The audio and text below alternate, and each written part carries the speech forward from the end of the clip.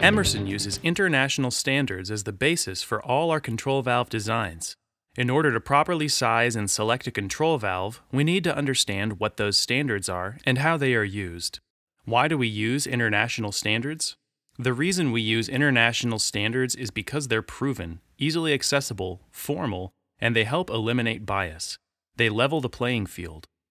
ASME B1634 is the control valve design code that Emerson uses as the basis for Fisher control valve designs.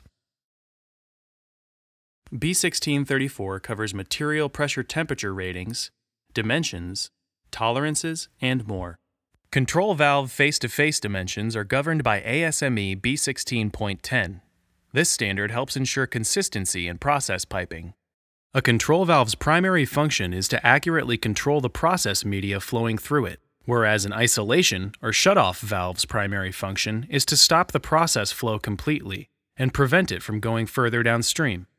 Because their purposes differ, they are often not held to the same design or performance standards. A control valve's allowable acceptable leakage rate is specified by ANSI FCI 70.2 and IEC 60534 4. ISA 75.0101 and IEC 60534 2 1 are international standards for the sizing equations and sizing models that are used to calculate the control valve CV.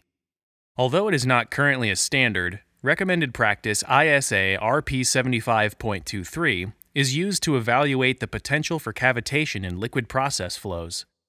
If overlooked, cavitation has the potential to cause high levels of noise and serious damage to piping and equipment. Then, finally, aerodynamic noise prediction ISA 7515 and IEC 60534 8 3 is another good standard to review during valve sizing. Visit Fisher.com or contact your local Emerson sales office to learn more.